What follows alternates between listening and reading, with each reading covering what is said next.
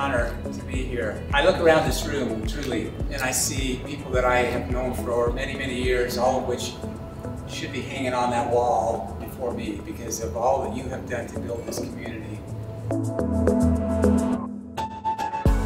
I'm uh, grateful to be here on behalf of my father, Gail Halvorsen.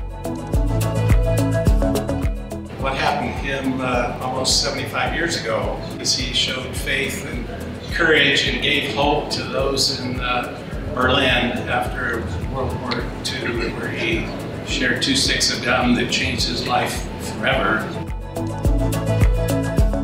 He received thousands of letters and drawings from kids answering their questions for reports via Zoom, phone, and in person. It, it takes a, a community to raise up a pillar.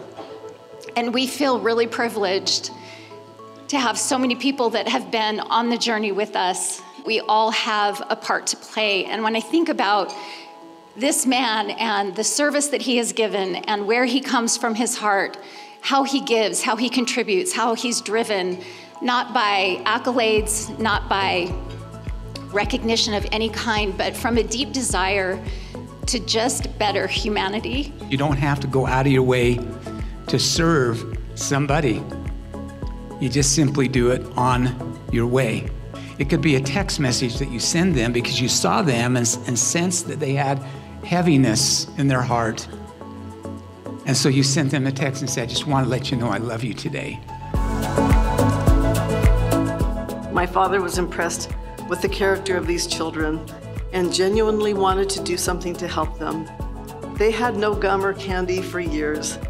He reached for the two pieces of gum in his pocket and passing them through the fence to the children, found himself promising that he would drop them all some gum and candy on parachutes from airplanes if they would promise to share.